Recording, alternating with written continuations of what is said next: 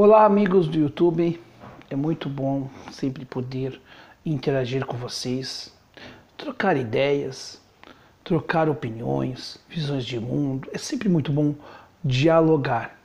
O mundo, o Brasil precisam de diálogo, precisam de mais tolerância com as opiniões opostas, precisa mais de respeito, né, a diversidade de pensamento. Se você gosta desse canal, se você, enfim, uh, com, concordar com as ideias, ou mesmo concordando, gostar do que eu expor, te ajudar, uh, já fica o convite para você dar o like e também curtir e se inscrever no canal aqui também, tá? Fique à vontade. Eu vou fazer uma análise bem rápida dos quatro, quatro candidatos à presidência da República. Tá? Dos quatro principais candidatos, tá? Não vou falar dos outros porque é muita gente, se eu fosse falar de cada um deles, me parece que daí ia ser muito extenso e a gente sabe que não são os oito que serão eh, que estarão no páreo. Vamos começar pelo líder das, das pesquisas, né? O Jair Bolsonaro, ele é um deputado de um segmento da sociedade, que é o segmento militar. Ele está na política há 28 anos, né? E ele entrou dentro do processo de redemocratização do Brasil. É um deputado inexpressivo, sabe disso. Né? Teve somente dois projetos aprovados ao longo de sua carreira. Uh, tem os seus tentáculos com seus filhos, né? É um candidato com posições um tanto quanto, vamos dizer assim, uh, controvertidas, sempre ganha manchetes com palavras e com gestos polêmicos, mas que pouco apresenta propostas. Jair Bolsonaro não conhece economia. E ele disse o seguinte: Bom, então para ser presidente da República tem que conhecer economia profundamente. Então não pode ser da República um, um dentista, um médico. Não, não é isso. Nós temos que ter noções básicas de economia. Noções básicas. Não é ser um economista, mas para o cargo exige um conhecimento, não digo só um conhecimento técnico, mas um conhecimento básico sobre os assuntos. Um bom político, no meu modo de ver, deve conhecer legislação, deve ter noções de economia, deve ter noções de sociologia e ter conhecimentos de ciência política. Se a gente pegar o Bolsonaro e a maioria dos políticos hoje brasileiros, a maioria não tem nenhuma noção de economia, não sabe absolutamente nada de ciência política, não tem noções jurídicas e por isso que fazem projetos anticonstitucionais, porque eles não conhecem a Constituição Federal. Eles nunca leram. E tem assessores tão medíocres ou mais, né? E então ele vem com aquele discurso da honestidade, que ele é honesto. Honestidade é pré-requisito obrigatório, deveria ser obrigatório de qualquer um. Honestidade em si não resolve o problema no Brasil. Então, nós temos que ter, ser honestos, né? ter honestidade, sim, mas também ter qualificações. Jair Bolsonaro se mostrou nos dois debates eleitorais um tanto inseguro. E suas propostas quase inexistentes. Porque ele, a proposta que ele tem, por exemplo, para reduzir a violência é que cada cidadão brasileiro tenha a sua arma. Só que, muito bem, tá, tudo bem, todo mundo tem sua arma, seu revólver. Só que em sociedades onde tem arma e revólver todo mundo, tipo Estados Unidos, lá também tem um índice de violência grande. Lá em seguida, seguidamente nós temos atentados coletivos. Desde o atentado de Columbine, que já faz alguns anos, né? Agora teve um atentado em, ali na. Ai, em Las Vegas, né? Que o cara entrou no, no hotel, fez um, um estardalhaço. Sempre tem um cara no meio do cinema. Então, assim, arma é uma coisa, é um instrumento, um, né? Que tem que ser usado por quem tem que ter, tem que ter equilíbrio também. Não adianta ter boa pontaria se o cara também não tem equilíbrio mental para saber usar aquele equipamento. Tem que ter um preparo que não é qualquer um que tem esse preparo. Né? É a mesma coisa, vamos dizer assim, eu não ter habilitação e sair dirigindo um ônibus. Eu não vou conseguir fazer isso. Talvez eu não consiga nem arrancar com o ônibus. Mas se eu arrancar com o ônibus na, na, no, no eu posso ir batendo nos, nos, obstáculos. Eu não vou saber fazer direito, porque para isso eu tenho que ter uma instrução. Então não basta né, armar toda a população. Não, não basta. Isso não é plano de segurança.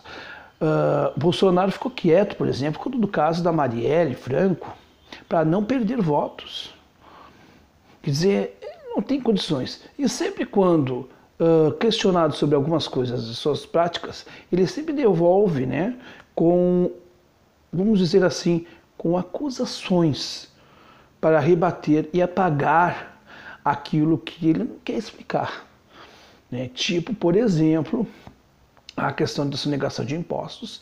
Então ele diz para o Gerson Camarote de que ele talvez seja pessoa jurídica que trabalhe na Globo e que ele é assim porque isso não paga alguns impostos que, por exemplo, um, um trabalhador normal pagaria, né, que a empresa pagaria para o governo.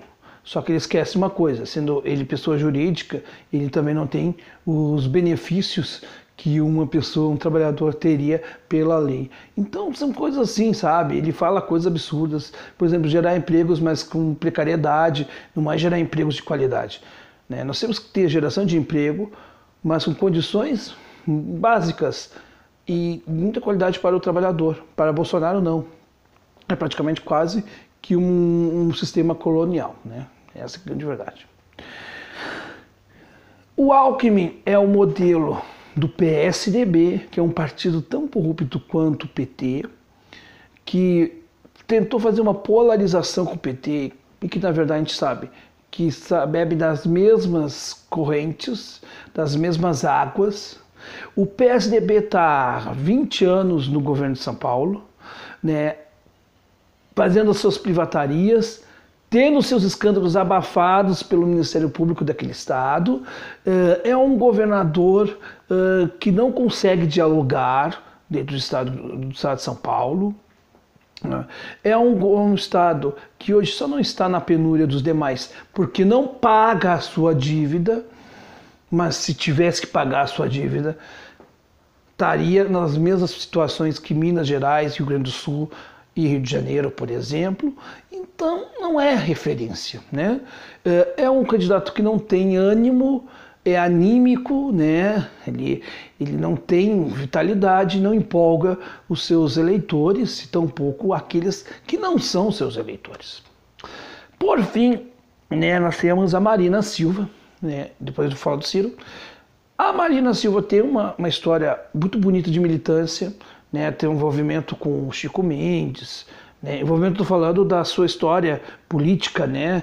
Ela, ela atuou junto com o Chico Mendes, ela, é, ela tem uma formação acadêmica, ela tem uma formação também religiosa, então ela é uma pessoa que eu respeito muito, mas acho, honestamente, que a Marina ela não tem aquela força que o presidente tem que ter. O presidente tem que ser um cara também às vezes forte. Ao mesmo tempo que ele tem que ser, uh, ser flexível uh, para tentar jogar as questões, ele também tem que ter um pulso forte em alguns momentos. Não vejo isso na Marina, mas respeito profundamente ela. Principalmente depois do que ela fez o debate da Rede TV e que ela mostrou sua dignidade como pessoa. Portanto, eu tenho muito respeito pela Marina. E o Ciro Gomes é um candidato que é um político que tem uma carreira, que parou um pouco, agora voltou, é um homem de sucesso, é um homem que tem visão, é um homem inteligente, tem um discurso bem sólido, talvez seja o candidato com mais propostas viáveis para a situação. Inclusive essa questão do SPC, que é a situação muito simples, ele quer sanear as contas das pessoas, do trabalhador, para que esse trabalhador possa, com o emprego, uh, fazer girar a roda da economia. Enquanto nós tivermos um capital especulativo dos bancos, da agiotagem sobre a economia, em que um cara que especula ganha mais e tem muito mais espaço na economia do que aquele que produz, nós vamos estar ainda alimentando a crise. A crise é exatamente o que? O, resultado do incentivo ao capital financeiro que o PT incentivou durante os anos de seus governos e que agora a gente está pagando a conta. E o governo que dá continuação, que é também continuação da Dilma, que os petistas não aceitam, mas tem que aceitar porque ele estava na chapa, o Temer ele deu sequência a isso. Tanto que seu ministro da Fazenda era o Henrique Meirelles, que todo mundo sabe que é um banqueiro. Então, nós temos que romper com o sistema financeiro para realmente melhorar a economia e incentivar a produção nacional, que há muito tempo está sendo deixada de lado, porque a nossa indústria, nós estamos tendo um processo de desindustrialização de anos, não é de agora. Então é preciso, meus amigos, fazer uma análise, ah, vamos dizer assim, ah, criteriosa. Sobre Ciro Gomes, então, né, ele, tem esse, ele tem esse projeto, ele tem essa proposta. Ele tem propostas sobre todas as áreas. Ele vê o processo numa visão macro. Eu não vou aqui explicar item por item, porque senão eu vou ficar, vamos dizer, um vídeo de uma hora. Eu tenho certeza que já em 11 minutos talvez você já nem esteja vendo mais. Talvez eu esteja tendo uma audiência de um ou dois. Mas eu quero que você que, que vai votar no Ciro, que opte por votar por Ciro, pense uma coisa. O Ciro é o candidato que trouxe maior, melhores propostas no sentido econômico, no sentido social, onde ele quer então, com essa política de quebra do sistema financeiro, desses caras especula desses especuladores, a partir daí girar a economia, desenvolvimento, das, eh, desenvolvimento social e econômico, que ele tem essa experiência num estado pobre, ele não foi governador num estado rico, onde tinha todos os recursos, ele foi governador num estado pobre. E tem mais uma outra coisa. É o, é o candidato que tenta trazer a pacificação do processo. E é isso que a gente tem que trazer, a pacificação. Mostrar que o candidato que lidera as pesquisas hoje é um candidato insuficiente. Vide a situação constrangedora que o candidato passou quando foi questionado pelo Reinaldo Azevedo no debate da Rede TV. É um candidato que não tem conhecimentos básicos, como o Ciro tem. O Ciro tem todo um, um acadêmico e nós precisamos de pessoas que conheçam as coisas. A pergunta que eu faço é a seguinte: você, tá, você tem uma empresa, você vai contratar pessoas para sua empresa. Você vai contratar alguém que tem conhecimento ou alguém que é um pessoa que não tem formação nenhuma, que não estuda, que não se dedica, que tu vê que é um, uma pessoa bruta. Quem que você vai contratar? Você vai contratar alguém que realmente tu acha que tenha conhecimento para exercer as funções da empresa. Nós temos que ver os, os nossos candidatos como os nossos candidatos né, a uma empresa. Nós somos os empregadores, nós somos os donos do país. E nós temos que ter o dever de olhar para cada um deles e dizer: o que, que tu vai me, vai me acrescentar? Que, que, qual é a tua proposta? Ah, a tua proposta é essa, então tá. Se não, se não, o resto é fazer o quê? É grenalização aqui no Rio Grande do Sul. É Grêmio contra a Inter, apaixonadamente, sem olhar, né, sem, sem ter uma visão crítica é Flamengo e Vasco, é Palmeiras e Corinthians, menos política. Meus amigos, política se faz basicamente com razão. A emoção se faz também para não sermos gélidos, mas com a razão sempre, porque quem não tem razão na política acaba defendendo coisas que daqui a pouco você se envergonha muito o tempo mostrará aquilo que tu fez de errado. E às vezes não temos como voltar atrás. Meus amigos, muito obrigado pela, pela paciência, aqueles que assistiram até o final. Uh, essa é uma análise curta, mas é uma análise que eu acho que é necessária. E compartilho com todos vocês aí. Que Deus possa nos abençoar e que possamos enfrentar as nossas dificuldades com muita fé e muita raça. Curte nosso canal, curte nosso vídeo e até a próxima.